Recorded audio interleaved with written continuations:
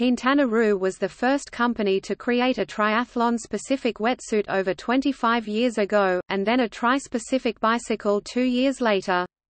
The company was founded in 1987 by Dan Empfield of Ironman fame and is currently owned by the American Bicycle Group.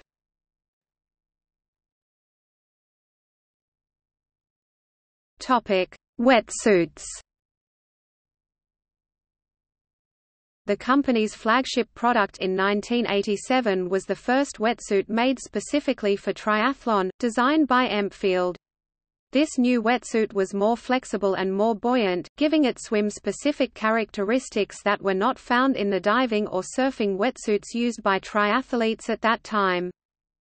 In 1990, Quintana Roo discovered and pioneered the use of Yamamoto rubber number 39 in its high-end wetsuits.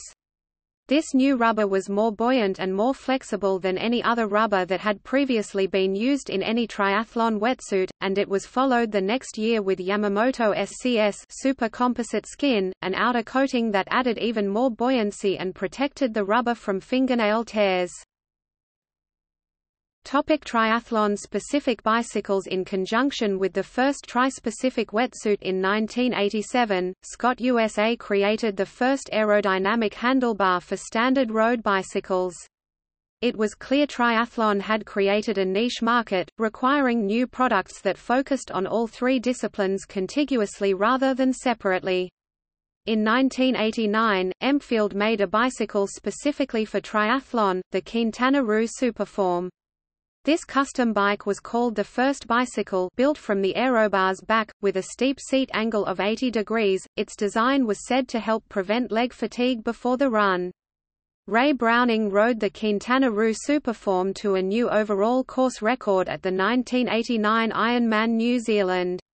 In 1993, Quintana Roo released the Kilo, the first production bicycle to successfully be made from Easton No. 7005 aluminum tubeset, and it replaced the Superform as the flagship bike.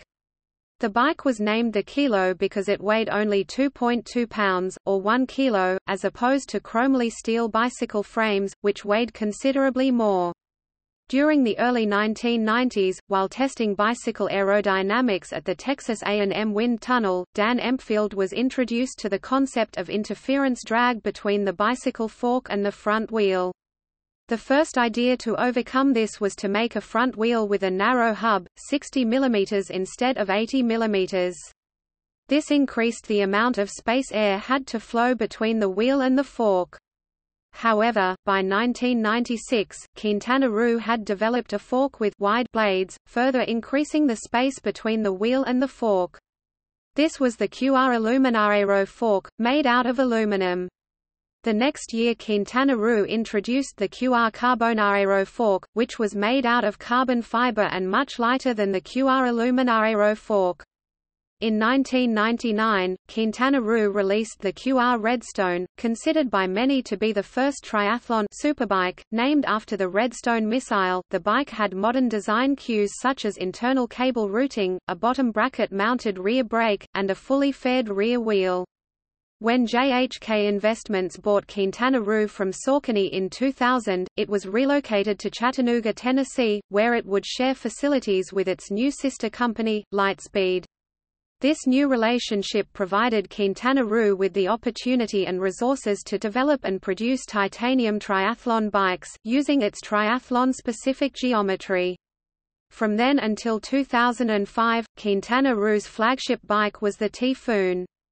However, in 2005 Quintana Roo released its first full carbon fiber bike, the Lucero, followed the next year by its sister bikes, the Seduza and the Caliente.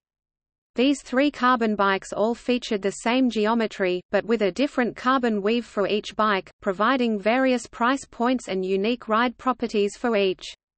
The mold that these bikes came from now forms the basis of Quintana Roo's current Fit series of bikes.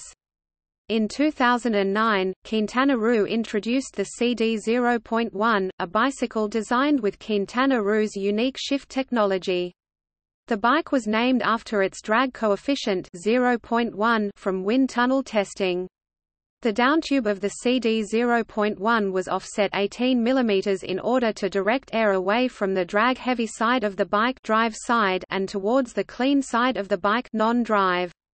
This resulted in increased stability in a crosswind, increased stiffness in the bottom bracket, and increased aerodynamics in the traditionally drag-heavy side of the aerodynamic drag curve. It was hailed as the most innovative bike over the past decade and received the Gold Design Award at the 2009 Eurobike show. Two years later, in 2011, Quintana Roo officially announced its Project Illicito, a new bike that improved on the already impressive aerodynamics of the CD 0.1. The difference, though, between the two bikes was that Illicito featured a missing seat stay and a massive chain stay on the non-drive side of the bike. This non-traditional rear end created a «sail» effect across certain degrees of yaw, as the air would flow along the massive chain stay. It was completely UCI illegal, hence the name Illicito. In 2011, the year that it was released, the Illicito received the Triathlon America Most Innovative Product award. In March 2014, Quintana Roo released the PRSIX called the Superbike Reconsidered. The PRSIX featured a simplicity and ease of fit and maintenance not found on other superbikes, as it could be quickly assembled with only a pedal wrench and two sizes of hex wrench. The PRSIX featured Shift Plus technology, combining the shift technology of the CD 0.1 and Illicito with a boat tail tube section that further increased the aerodynamic advantage of shift technology. The bike was compatible with any standard diameter aerobar, as well as any brake produced by Shimano, TRP, Magura, or TriRig.